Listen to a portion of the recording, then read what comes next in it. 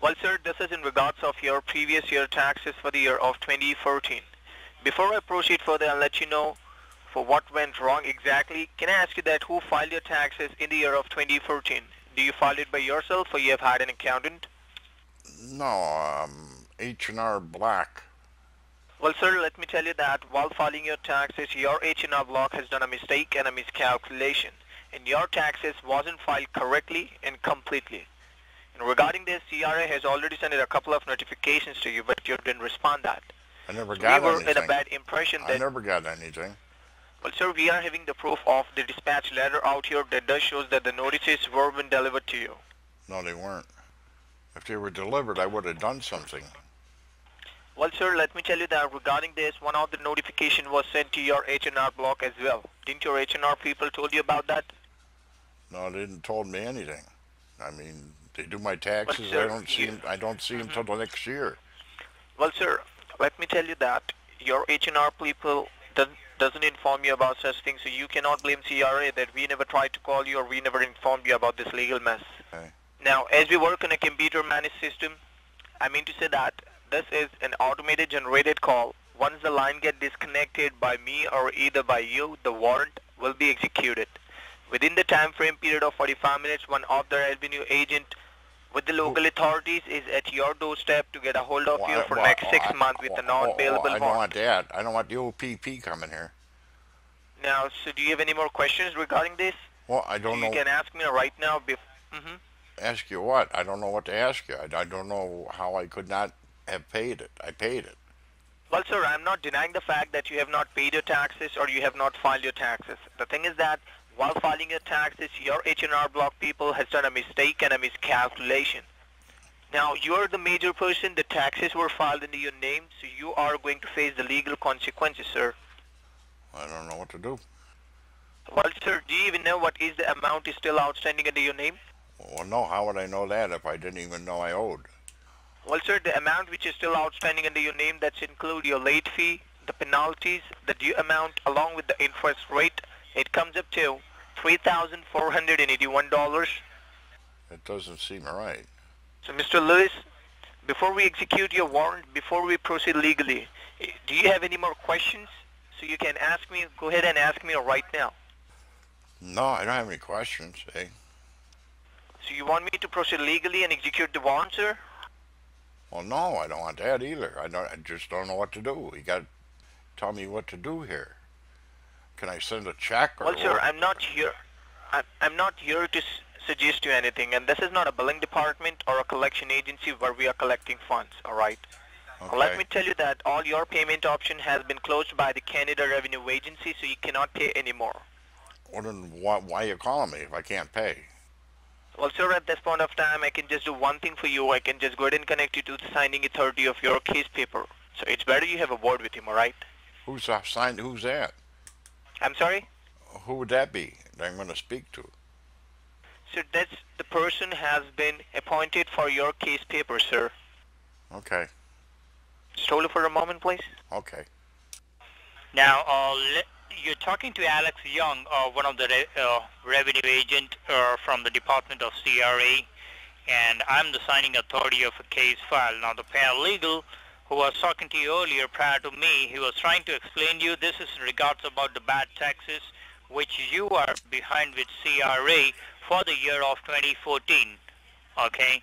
Now, I'm not denying the fact that you have not filed your taxes or you have not paid your taxes. Yes, you filed your taxes every year in the past, but unfortunately, when H&R Block filed the taxes for you for the year of 2014, it was filed incorrectly and there was some mistakes done by filing the taxes. And because of these errors, you have paid only partial amount. The full amount was not paid back. The amount is still outstanding which you owe to CRA as of now. Now, if we are going to speak about the notification regarding this matter, uh, let me tell you this. As per the law of CRA Act 1998, okay, the power of attorney or the liable person to receive the notification is only the person who is the power of attorney of the tax file. And in your case, the power of attorney of your tax file was H&R Block. and we have been tried to notify regarding these errors uh, to H&R I Block. I So never gave them- any kind of I never, I never gave them power of attorney. No, power of attorney, that means uh, you uh, you pay H&R Block to pay your taxes, right? To file your taxes, That's not right? power of attorney, though. I didn't, I didn't make them power of attorney. It, it's not a power attorney, sir. Let me explain you. If H&R Block or if, you know, for an example, if you hire an accountant or CPA, okay, if you file your taxes by yourself, documentations would be sent to you. But in your case, H&R Block was a was a company who filed the taxes for you. And we have been notified regarding this uh, to H&R Block. So didn't you receive any kind of correspondence from H&R Block regarding this matter? No, I haven't received anything. Nothing. Not And can I can I ask you can I ask you when did you see H and R Block last time? March. March this current year? Yes. Okay, unfortunately in the month of March 2017 we have sent documentations to H and R Block mentioning that this is a mistake is done. Uh, inform your client regarding this, that means you.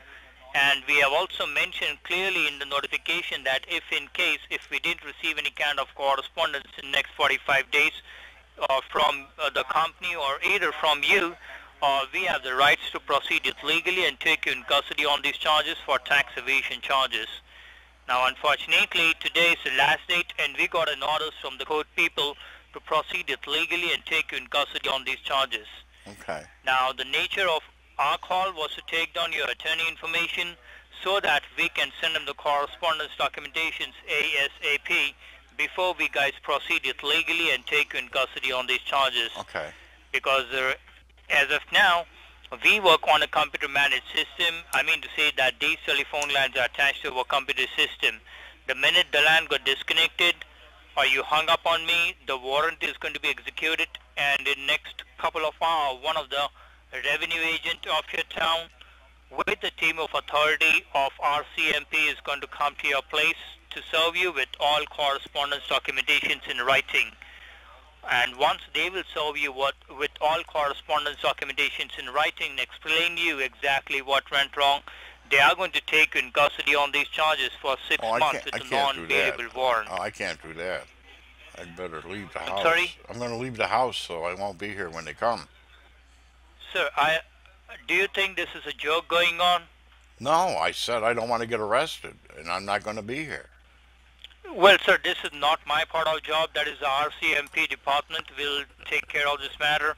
They can, you know, they can trace you down wherever you are. They are going to take you in custody on these charges. Okay.